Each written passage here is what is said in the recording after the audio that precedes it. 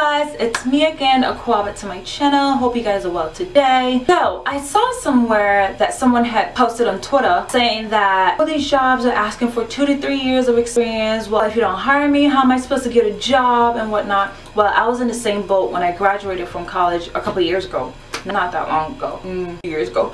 But um yeah some of us graduate with a 4.0 a perfect transcript great references letter of recommendations i mean the best. And yet we cannot find a job. Well i put together 10 reasons why college grads cannot find a job. So let's dive right into number one increased competition. Let's admit it. College these days are more affordable. Parents are pushing us to go to school because if you don't go to school you don't get a degree you're not going to get a good job. That's what they tell dollars what you don't know is a degree only it's not to help you land a job. As they say nowadays it's not what you know but who you know. Number two little to no work experience. Some graduates make a grave mistake of thinking that a college degree alone will get them by but no. They spend their college days partying having a social life having a part-time job that has nothing to do with their major and letting the college days pass them by. Yeah it's gonna fly by because you're so busy doing all these other things so it's gonna go by so fast and you realize that you have no experience in actually what you went to school for. Number three, no skills. Develop your skills. You know yourself better than I do. You know what you're capable of and what you can and cannot do.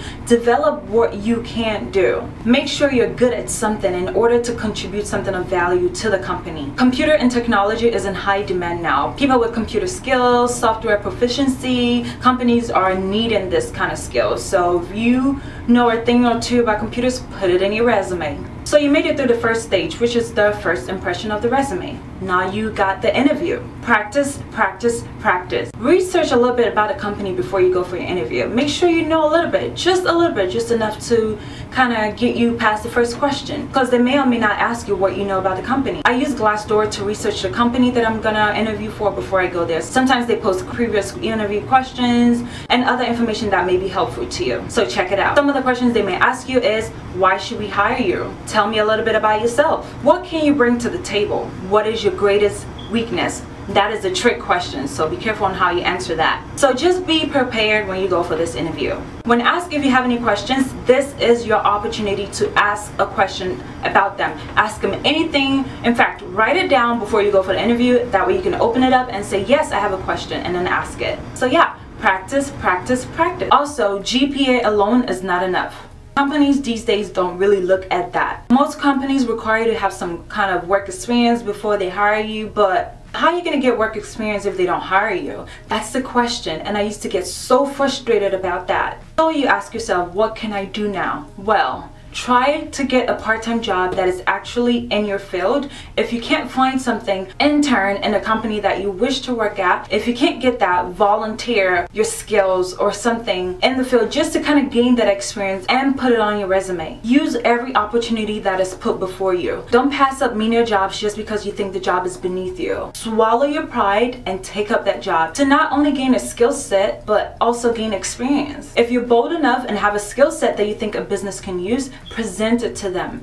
Tell them you're an intern for free or whatever the case may be. Put yourself out there. Even if the job that you volunteer for or intern for or part-timing for is not the job that you really want, but it's the company that you want to work at, it gets you one foot in the door. And once you're in the door, you can work yourself on your way up to where you want to be. And while you're in there, do more than what is required of you. That way you gain more experience and you gain exposure and people actually see your work. Always remember small and humble beginnings can take you to greater heights. Number seven, stand out. What sets you apart from all the other candidates that they interviewed already? What are some of your best qualities? Only you know. So take some time and think about it and actually write it down. So when asked the question, what can you bring to the table? You just lay down. Number eight, no follow up. So after the interview, this is a perfect time to send a thank you note. I recommend you do it immediately, not like immediately, but like a couple of hours after you get home from your interview. After your interview, you send the thank you note. A week goes by, you don't hear anything. Well, it's okay to call them if they don't have anything against that. Or you can email them to ask them, hey, what's up? I want an update. Because sometimes they get so many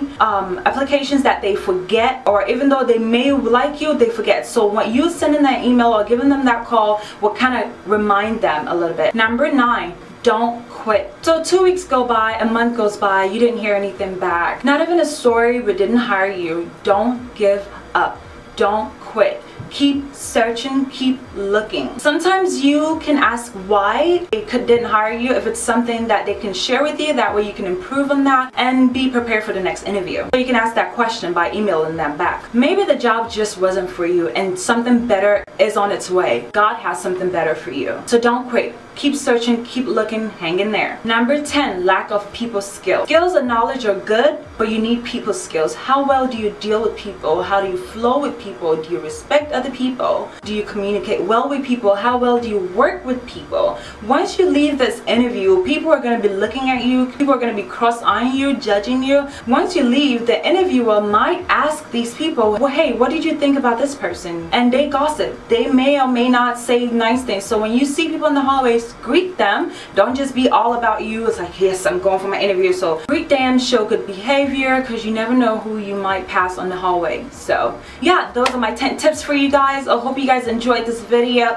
If you did thumbs up like subscribe share this video with your friends who are graduating from school or college or looking for a job or just anybody. Just share it. Thank you so much for watching and i'll speak to y'all later. Bye